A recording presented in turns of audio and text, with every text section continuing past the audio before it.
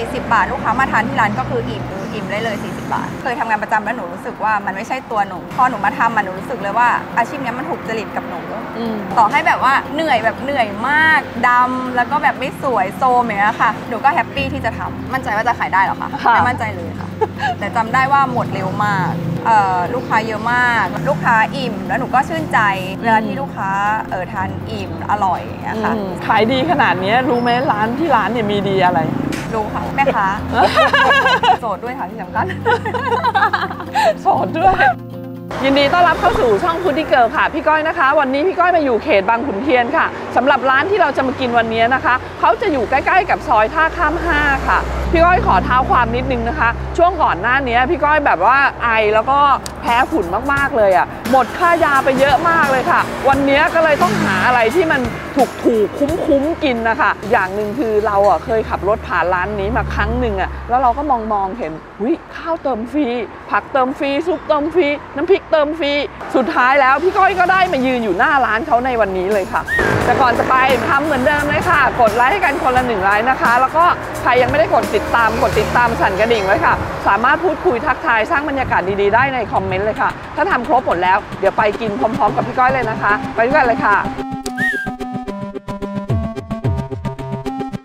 มาอยู่กับเจ้าของร้านแล้วค่ะ โอ้โหแบบน้องน่ารักมากเลยไม่รู้ว่าหน้าตาจะน่ารักอย่างนี้นะคะหรือชื่ออะไรคะ ชื่อหมูค่ะ น้องหมูพี่จ้ะก้อยนะคะ ค่ะร้านสวัสดีน้องหมูค่ะ ชื่อร้านอะไรคะ ชื่อร้านข้าวหมูทอดพุงกลางค่ะ ข้าวหมูทอดพุงกลางเปิดปิดกี่โมง เปิด6โมงครึ่งแล้วก็อ่า ปิดบ่าย2ค่ะ เปิดจันทร์ถึงเสาร์นะคะ หยุดวันอาทิตย์วันหนึ่ง หยุดวันเดียวใช่ค่ะ ไหมคะ เห็นเป็นชื่อร้านหมูทอดอะพี่ก้อยคงไม่ต้องถามเนอะว่าน่าจะขายหมูทอดเออแล้วหมูทอดของน้องหมูอะเอ้ยชื่อก็หมูใช่ค่ะขายหมูทอดใช่ค่ะ คือเป็นสูตรแบบไหนคะหมูทอดอะ เป็นหมูหมูสามชั้นชุบแป้งทอด อ๋อค่ะแต่ว่า3ชั้นของหนูก็จะคัดคัดๆหน่อย คือค่ะ หนูจะเอาสามชั้นที่เอ่อไม่มันเยอะอ่าค่ะมีเมนูอื่นๆอีกไหม เอ่อของหนูจะเป็นข้าวหมูทอดใช่ไหมคะ แล้วก็ค่ะมีไก่ทอดท็อปปิ้งก็จะมีไข่ต้มกุนเชียงหมูยอไส้กรอกปลาทูทอด อืม ไข่ชะอม อืม แล้วถ้าทานที่ร้านนะคะ หนูจะมีน้ำพริกผักสดฟรีข้าวเติมฟรีให้ อืม น้ำพริกของหนูก็จะมีน้ำพริกกะปิแจ่วปลาร้าน้ำยำไข่ต้ม แล้วก็มีน้ำจิ้มแจ่วให้วางบนโต๊ะอืมมีน้ำจิ้มหม่าล่า อืมมีน้ำซุปให้ฟรี อืม ข้าวก็เติมฟรี อันนี้ลูกค้าสามารถตักเองได้เลยเหรอครับ ใช่ค่ะ ลูกค้าอืมตักเองได้เลย ให้บริการตัวเองได้เลย แต่ว่าลูกค้าอย่าทานเหลือแค่นั้น อ๋อใช่ค่ะ ช่วยกินให้หมดนิดนึงใช่ค่ะ เพราะว่าต้นทุนมันมันแพงอ๋อเริ่มต้นขายเท่าไหร่อยากรู้แล้วเนี่ยเป็นร้อยจานละแล้วค่ะ40บาทค่ะที่ที่ใช่ค่ะ เอาจริง ๆ มีกำไรเยอะไหมคะ น้อยค่ะกำไรไม่ได้เยอะค่ะ แต่ว่าเน้นจำนวนเอา ตอนที่หนูมาเปิดอะหนูคิดว่าเปิดขายอาหารที่แบบทำให้ลูกค้าอยู่ได้หนูอยู่ได้ลูกค้าอยู่ได้อืมคือคิดแบบนี้ค่ะ น้องหมูเป็นคนจังหวัดอะไรอะคะกรุงเทพค่ะ พี่ก้อยอะเห็นหน้าตาน่ารักอย่างเงี้ย ก่อนหน้านี้หนูทำอะไรมาก่อนก่อนที่จะมาขายข้าวหมูทอดเนี่ยทำงานประจำค่ะ แล้วก็ขายเครื่องสำอางขายออนไลน์อะค่ะค่ะ จากธุรกิจเครื่องสำอางความสวยความงามกระโดดมาทำร้านอาหารนี่มันมันมันต่างกันสุดขั้วเลยนะคะค่ะทำไมถึงเลือกร้านอาหารนะคะ วงการออนไลน์มันมันเริ่ม drop แล้วนะอืมตอนนั้นอะไรอย่างเงี้ยค่ะค่ะ หนูจะกลับไปทำงานประจำใช่ไหมแต่ทีเนี้ยหนูว่าเคยทำงานประจำแล้วหนูรู้สึกว่ามันไม่ใช่ตัวหนูหนูก็เลยลองดูตรงนี้ถ้าเจ๊งก็เออไม่เป็นไรเว้ยคิดแบบนี้ค่ะ พอหนูมาทำมันหนูรู้สึกเลยว่าอาชีพเนี้ยมันถูกจริตกับหนู อืม ต่อให้แบบว่าเหนื่อยแบบเหนื่อยมากดำแล้วก็แบบไม่สวยโทรมอย่างเงี้ยค่ะ มีแต่คนทักว่าหนูแบบโทรมลงไปอะไรอย่างเงี้ยค่ะ เออ เพื่อนๆอย่างเงี้ยค่ะ แต่ว่าหนูก็ happy ที่จะทำตอนที่มาเปิดร้านวันแรกเนี่ยมั่นใจกี่เปอร์เซ็นต์คะ มั่นใจว่าจะขายได้เหรอคะค่ะ ไม่มั่นใจเลยค่ะ แต่จำได้ว่าหมดเร็วมาก เอ้าทำไมอะเพ ราะว่าวันแรกที่เปิดอะค่ะเอ่อลูกค้าเยอะมาก แล้วก็หนูก็แถมไข่ต้มด้วยทุกจานจำได้ว่าปิดก่อนเวลาด้วยค่ะ บรรยากาศตรงนี้คนจะเยอะไหมใช่ค่ะ เยอะมาก วันนั้นคือหมดแรงค่ะขายดีขนาดเนี้ยรู้ไหมร้านที่ร้านเนี่ยมีดีอะไร เจ้าของร้านค่ะ เจ้าของร้านไม่ใช่หรอกค่ะ ร้านหนูเหมือนกับว่าเออหนูว่านะคะ มันอร่อยแล้วก็ทานง่ายค่ะคุ้มอะไรอย่างเงี้ยค่ะ ลูกค้าอิ่มแล้วหนูก็ชื่นใจ เวลาที่ลูกค้าเออทานอิ่มอร่อยอย่างเงี้ยค่ะอืม รู้สึกว่า happy คำถามหนึ่งค่ะ หน้าตาน่ารักขนาดเนี้ยนะคะ แล้วคอยดูแบบว่า character บุคลิกตัวเองตลอดคอยเช็คตลอดเนี่ยมีลูกค้ามาจีบมาแซวบ่อยไหมคะ บ่อยนะคะ บ่อยเลยเหรอแล้วถ้าเขาอยากจะจีบหนูอะเขาต้องทำยังไงเขาต้องมาจีบที่ร้านค่ะ โสดด้วยค่ะที่สำคัญ โสดด้วย มาครบหมดแล้วนะคะ โอ้โห หน้าตาแบบ เรียกได้ว่าเป็นขวัญใจช่างภาพเลยพี่ก้อยให้ตำแหน่งนี้เลยนะคะ เพราะว่าเป็นเมนูโปรดฟู้ดดี้เกิลจริงๆ ค่ะ ไม่ว่าจะเป็นไอเดียตากล้องหรือพี่ก้อยก็ชอบกินแบบนี้ค่ะง่ายๆ นะ อย่าไว้วางใจมันนะ เห็นหน้าตามันง่าย ๆ อย่างเงี้ย มันน่าจะอร่อยมากๆเลยค่ะ เดี๋ยวมาดูกันนะว่าพี่ก้อยกินอะไรบ้างนะคะจานนี้อ่าจานนี้ก็คือข้าวหมูทอดที่เป็นเบสิกของเขาเลยก็คือ 40 บาทนะคะเขาก็จะให้กากมาให้อย่างนี้เลยนะ แล้วก็จะเป็นข้าวไก่ทอด พร้อมกากเหมือนกัน อันนี้ก็ 40 บาทนะคะ ค่อนข้างเยอะเลยนะยังไม่ทันกินเลยก็รู้สึกว่าคุ้มแล้วอะถ้าเราสั่งเป็นกับเปล่าๆก็คือไก่ทอดกับหมูทอดปนกัน น้องโปะกากมาให้เต็มๆเลยอันนี้คือจานนี้ 70 ค่ะ แล้วก็ปลาทูทอดคัดเกรดมาหรือเปล่าไม่รู้อ่าให้รู้อันนี้ 20 บาททำไมถูกจังจานนี้มันคือข้าวหมูทอดนี่แหละค่ะ แต่พี่ก้อยจะสั่งพิเศษเพิ่มท็อปปิ้งมาอีกนะคะท็อปปิ้งของพี่ก้อยอะมันก็จะมีไก่ทอดไข่ต้ม กุนเชียงไส้กรอกชะอมทอดไข่ แล้วก็หมูยอค่ะท็อปปิ้งอะอย่างละ 10 บาท ไข่ต้มก็ 10 บาทนะแล้วก็อันนี้คือท็อปปิ้งที่เหลือจากที่เราใส่เข้าไปในจาน ต้มซุป อันนี้ฟรีไม่อั้น เช่นเดียวกันผักฟรีไม่อั้นสำหรับน้ำจิ้มนะคะเขาจะมีให้เราเลือกหลายแบบเลยทั้งแจ่วปลาร้าทั้งน้ำพริกกะปิน้ำพริกไข่น้ำพริกไก่ต้มแล้วก็แจ่วนะคะ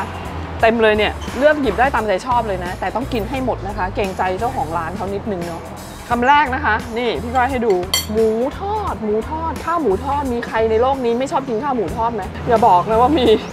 ดูดู อืมก็คือกรอบนอกเลยคริสปี้เลย แล้วก็เนื้อข้างในอะค่อนข้างนุ่ม จะมีความติดมันนิดๆนะคะ คิดว่าถ้าราดกับน้ำจิ้มอะน่าจะอร่อยมากๆเลยค่ะ แล้วก็ตัวข้าวเนี่ยน่าจะเป็นข้าวหอมมะลินะคะ ถ้าข้าวอร่อยกินกับอะไรก็อร่อยนะพี่ก้อยว่าเนอะอ่ามาราดแจ่วดูนะคะ นี่เลยค่ะ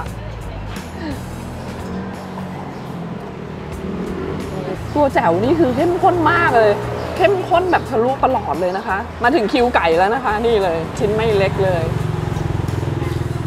กรอบอืมอร่อยตะกล้องเข้าปากไปแล้วครึ่งหนึ่งใช่ไหมใช่ใช่อันนี้พี่ก้อยครึ่งหนึ่งแบ่งคนละครึ่งนะคะ ไข่ต้มค่ะราดด้วยน้ำจิ้มเขาเลยนะคะ เป็นไง น้ำจิ้มเขาอร่อยนะอืมเหมือนยำไข่ต้มที่เราซื้อตามตลาดนัดอะที่เขาจะใส่เป็นถุงๆไว้แล้วมีน้ำจิ้มให้อะอื มมันจะมีรสของไอตัวหอมอะค่อนข้างชัดเนอะใช่ตอนแรกนึกว่าเป็นน้ำปลาพริกไงไม่ใช่อืมอืมโอ้เดี๋ยวต้องไปเติมแล้วอันนี้อร่อยมาก หมูยอค่ะ หมูยอเขาอะ character เขาเหมือนเขาเอาไปชุบแป้งบางๆทอดก่อนด้วยใช่ปะตากล้อง ใช่ใช่ใช่ไหมมันอร่อยคือมันเป็นเมนูเด็กๆนะดูหน้าตามันอะแต่มันอร่อยอะบอกได้เลยตามต่อด้วยกุนเชียง อืมจริงๆอะ ถ้ามันจะให้มันเด็ดอะมันต้องราดด้วยไอ้ไอ้น้ำยำไข่ต้มอีกอะแล้วก็กินกับข้าวอะเพราะมันจะได้แบบสามสี่รสเลยนะคะกุนเชียงมันมันๆแล้วก็ข้าวอร่อยอร่อยนะคะ แล้วก็ราดด้วยน้ำจิ้มอะอมีต่อใจมีน้ำพริกอยู่อันหนึ่งที่อยากกินมากเลยเป็นน้ำจิ้มปลาค่ะนี่ เห็นสีมันแล้วแบบเรานึกถึงพวกน้ำพริกปลาร้าค่ะ ลองกินกับหมูทอดดูนะคะอร่อย ต้องทุบเลยค่ะ ต้องทุบเลยค่ะ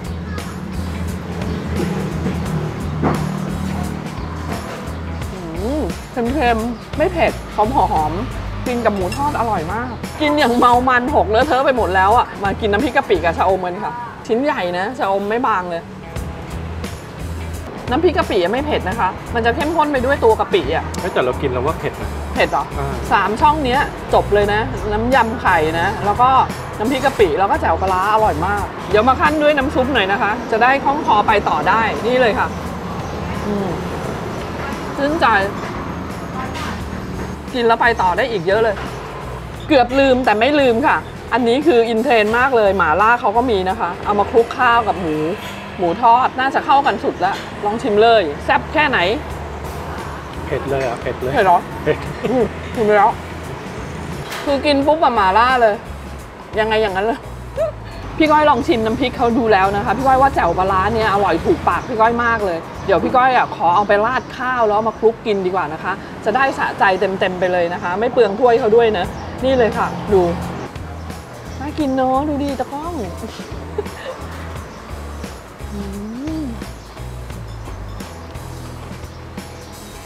อยมาก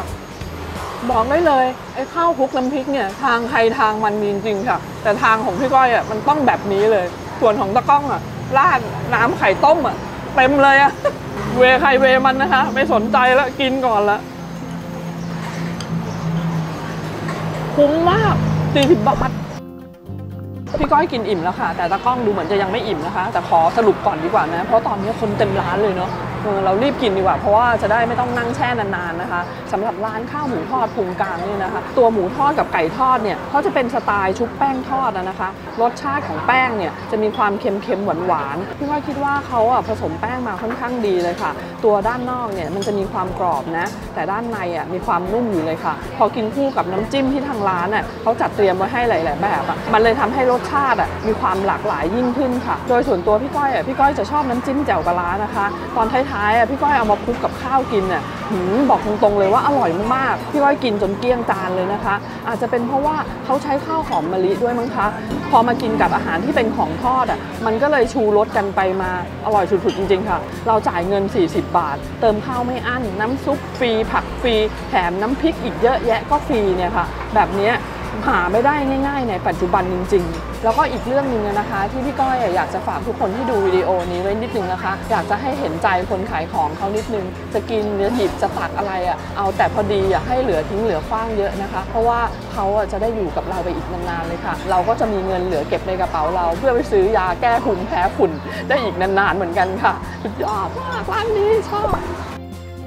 กินไปแล้วเงินเหลือในกระเป๋าอีกเยอะชีวิตดีดีค่ะ ขอบคุณทุกคนที่กินเป็นเพื่อนพี่ก้อยนะคะ อย่าลืมไปตามพี่ก้อยต่อได้ใน Facebook Instagram TikTok แล้วก็ Lemon Egg Foodie Girl ค่ะ ใครมีร้านอร่อย ร้านที่ชอบร้านเด็ดๆอะเอามาแชร์กันนะคะ อย่าเก็บไว้คนเดียวค่ะ พี่ก้อยจะไปดูรีวิวถ้าอร่อยและเด็ดจริงๆอะจะตามไปกินเลยค่ะ ไปก่อนนะคะวันนี้บ๊ายบายค่ะ